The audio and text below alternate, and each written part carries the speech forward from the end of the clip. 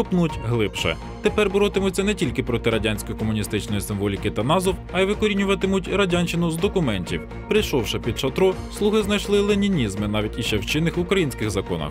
Якщо ми візьмемо житловий кодекс і кодекс законів про працю, просто от для ради заради цікавості відкрийте преамбули, і ви побачите, як в цих законах, по яким зараз правосуддя в нас продовжує здійснюватися, що написано в цих преамбулах, що ми рухаємося в комуністичне світле майбутнє, що ми пам'ятаємо завіти Леніна і Октября. Тобто це жах.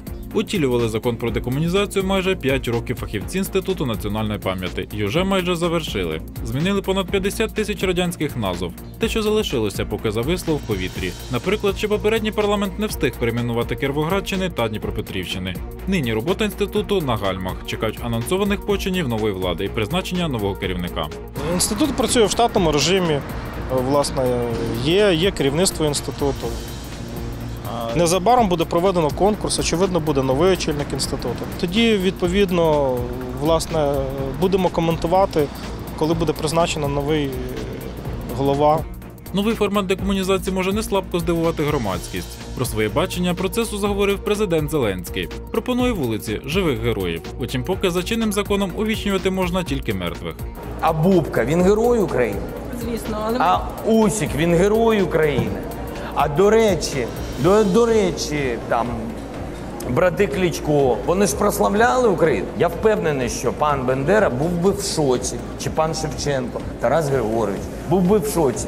Яка кількість вулиць? Це ну це просто для людини. От знаєте, ну як ну зараз от принесли мене, ну, ну добре, нам приємно.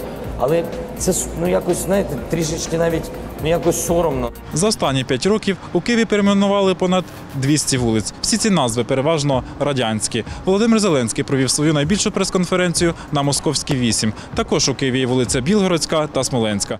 На вулиці Московській запитуємо киян, хто із сучасників заслужив, аби цю вулицю назвали його іменем. Я вважаю, що треба міняти. Ну, в честь кого можна назвати вулицю? Та кого завгодно, українських письменників, українських поетів, ну, науковців. Я категорически против. Категори... Потому что я родилась в Киеве, выросла. Это мои названия, мое детство, моя жизнь. Вот. И вот эти все петлюры, бандеры, мазепы, это просто отвратительно. Процес, розпочатий ще 2015-го, на 100% ще не завершили. Іншим країнам, які позбавлялись усього, що пов'язували їх із цепом і молотом, це вдавалося швидше. Наприклад, колишня Чехословаччина, яка пам'ятає праську весну і введення радянського війська, декомунізувалася за два роки.